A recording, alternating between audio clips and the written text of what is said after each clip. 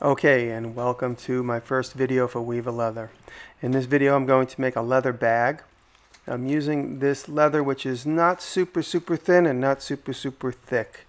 It's like a medium thickness. I wanted leather that would create a bag by which it would stand up on its own. That was sort of my goal. And uh, there's a much thicker piece of leather. And this is my razor knife that I'll be making eventually. The only reason I'm using this right now is because I did not have my Weaver leather head knife available to me. I left it at my other shop and eventually you'll see me use it down further in the timeline. But this is a technique I developed a long time ago. I was working in Taylor's leather shop. That's my girlfriend's other shop. And she didn't have a long straight edge because she typically doesn't need one. All of her leather cuts are curved. And so here I'm using the edge of the table and a nice sharp razor blade. This will work with any kind of razor blade that you have. Using the edge of the table as a cutting surface and you see how I did that there. It's a technique, it takes a little bit of practice and if you're careful you absolutely will not cut the edge of the table. And now you see I just pre-bent this uh, leather here. This is going to be the main body of the bag. I'm using this incredible Weaver leather machine. This thing is unstoppable. It doesn't groan. It, it doesn't even make any noise. It's unbelievable. And there I'm using that same technique. And now making the sides. That main piece that I just sewed was the main body of the bag. And now these are going to be the end caps. So uh, I'm basically making a U channel with end caps. And the way I think of sewing anything together is the way I think of package design. I'm basically making a package for my tools here. And how do you transfer flat material into three-dimensional objects? And there comes the discipline and the, uh, the know-how I've never actually made a bag like this I've sewn things together similarly, but not exactly like this. So I kind of had to think everything through. And uh, what I'm making now is the pockets. And I realized I wanted the pockets to be puckered at the top. And to do that, you need a tapered pocket, but will be sewn on straight. You see what I'm going to show you there. So there's my side, and then that's the pucker. So by sewing the sides on parallel to the to the to the base sides, I will get that pucker at the open top and again, never did this before, never used this machine before, just a couple of test test attempts. And I'm leaving enough at the top of each stitch for a rivet, which I'm going to add later. I don't want to punch the rivet through the stitching, which would, of course, allow it to eventually start unraveling. And here I am just kind of thinking this through, just working in real time, thinking in real time. I had a, a bag, uh, you'll see it on the table later, as inspiration, but it was made completely out of canvas, structured much differently than than the way I'd structure it here. But that bag was the right size and shape that I liked. Now here you see my components are starting to come together. Now I want to put three pockets on the side, each long side of the bag. And in between those pockets I'm going to put a strap. And you'll see later in the video. So now um, making these tapered pockets so that they will also have that puckered or bloused open top and I'm just backstitching every time I start and stop I backstitch and uh, snipping it off. And again this this machine is designed to go through uh, I think at least three quarters of an inch of, of hide and it is unbelievable. I, have never worked on such an incredible machine as this and I, I feel like I could create anything out of leather with a machine like this. It's unbelievable. And again just you see those three sides and you see I got the other three sides already done and I'm working in real time. Working with leather is very intimidating, and I know that it's coming from somebody that works with everything. But you just have to jump in, and if you screw it up, you just figure out a way to hide your mistake. And there's been a few mistakes in this, and a couple of solutions I didn't really know how I was going to solve those solutions or finish certain ends until I got right near them. So for me, it always works best to just jump right in. And now you see I have my main body and I have my sides and now I'm sewing the sides. My seam is going to be showing on the outside and the next one I make I'll be more conscious of where my top stitch is versus my bottom stitch because they're both going to show. The top stitch tends to be a little bit more attractive than the bottom stitch just by nature of the way any sewing machine works. And here I kind of flip-flopped around. I wasn't extremely conscious of it, but I am making a tool bag and the tool bag is going to get beat up so if this was a Hermes bag and I'd be paying much more attention to where my top stitch versus my bottom stitch And now I didn't really have a solution at this moment in time. I didn't know how I was going to sew across the bottom. And also if you sew all the way around and make a U shape, you end up not matching the top at the top. I know leather is forgiving, so I started both my stitches on both sides from the top down. And you'll see here, I never sewed the bottom. I started from the top down to make sure that those top hems would actually match up.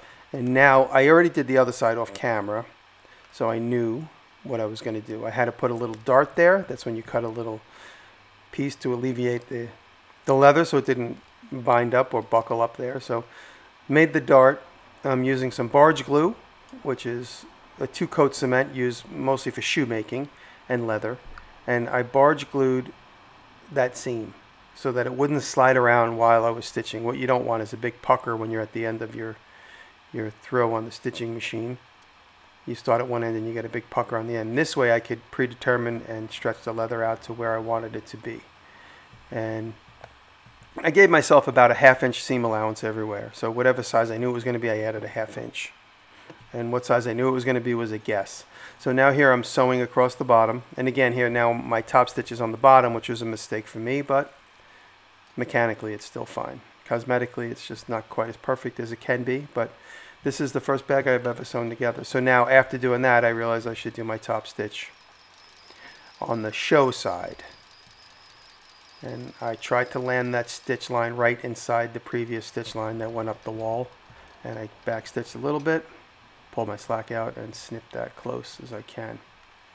And uh, now here I'm pretty happy because I had some solutions I really didn't know how I was going to solve.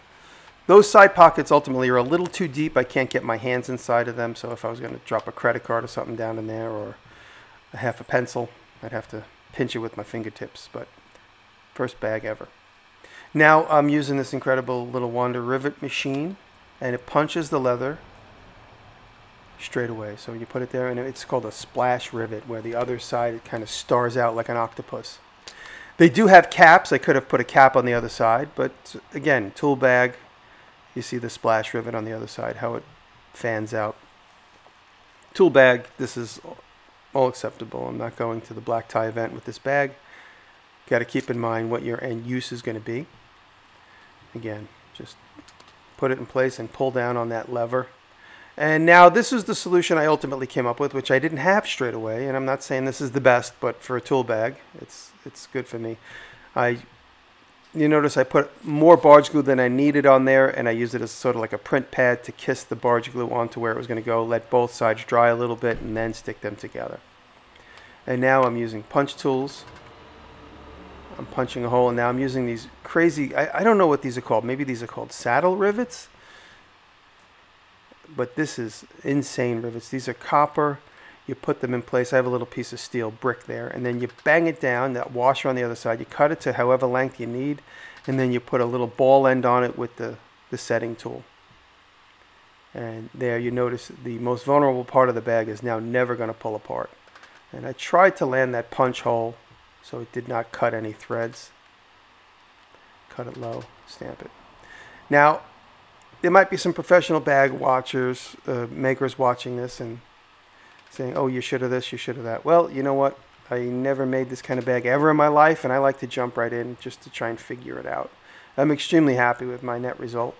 I, have been using this bag from the minute I finished it. I have, it's right here by my side. Again, now I'm using the head knife provided by Weaver, and this thing is absolutely dreamy sharp.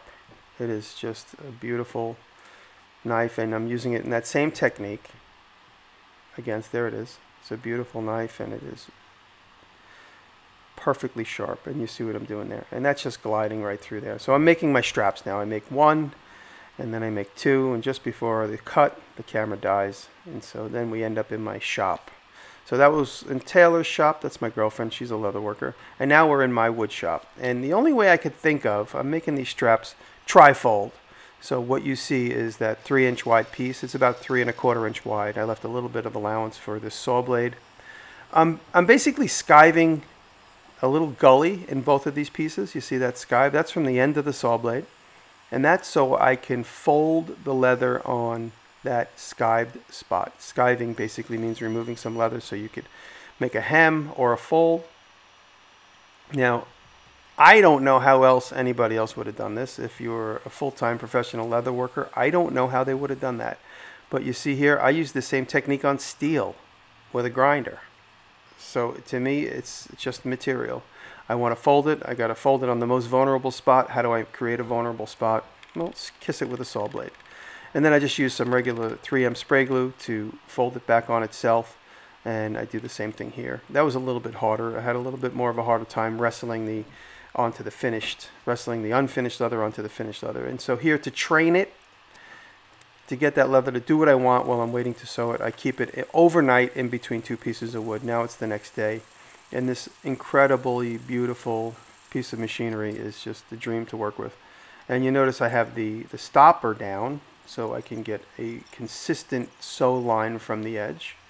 And I'm trying to land that stitch so it goes on the entire piece through all three layers. And on one side, I needn't worry because it's it's on the folded side. On the other side, I got to be close attention. I got to pay close attention because it's on the, the vulnerable side where there's the hem. And now I'm connecting the two together. So I made two pieces the same size. I never actually measured how long it was. I just cut them to where it felt right. And you'll see what I'm talking about in just a second. So that's going to be under the bag. So there's my my seam and there you see uh, the hem. Now I do that to both ends and I end up with a continuous loop right here I cross cut. So there, there I did the same thing twice. I, I end up with the ends sewn together and now that's going to get laid up under the bag and the other loops are going to become the handle. And there we are. I'm about 95% uh, done with this bag. You see there? And I clamp where I think I need the, the rivet. This is a little nerve-wracking because you, you're getting close and you're proud of what you did, but you just got to trudge on with the same confidence, and now I'm putting these rivets in here. Same rivets I used on the corners. I'm making sure that I have a consistent look all the way across the bag, all that the, all the hardware is put in in the same fashion, the same direction, and it's starting to really come together now. And now it's getting late in Taylor's studio, and she has a neighbor that complains. So you'll see a funny thing we did here. I held the steel brick up underneath, and she hit the thing so we weren't banging on the floor. And so now we're back in my shop. It's the next morning, and I'm able to drive those rivets home completely, putting the, the ball end on there with that rivet setter. And there it is. It's working out really nicely. And there it is, there it is. And I went back in and with a pair of scissors, I snipped all the little stray, stray, oh, there's a little hard shell bottom. That's just a piece of quarter inch plywood. And now I'm putting my stamp on there. And that's a stamp made by a company called Stamp Yours, which is a great couple of brothers out of Cleveland. Stamp Yours, find them on Instagram. And now it looks like a real Hermes, Hermes, Hermes bag. I'm real proud of this one. Like I said, it's uh, first one, and as it started getting more and more good looking, I was being more careful. But I'm super happy with this, and I'm real happy to be making stuff for Weaver Leather. So guys, thank you very much. I, I love the tools. I love the leather. And there's Little Hands. Mr. Little Hands is just loading the box up. Thank you, Mr. Little Hands. And then there you go. Thank you for watching. I hope you learned something nearly as much as I did. Thank you, Weaver.